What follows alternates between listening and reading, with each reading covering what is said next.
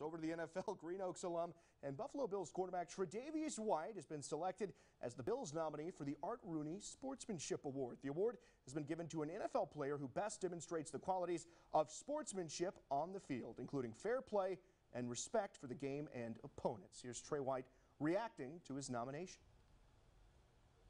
kind of surreal.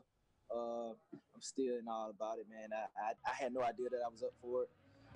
For my for my peers and, and the people around around here to recognize me as such and, and nominate for me for such a prestigious award, man, it's something that uh, I don't take lightly. So I'm I'm definitely proud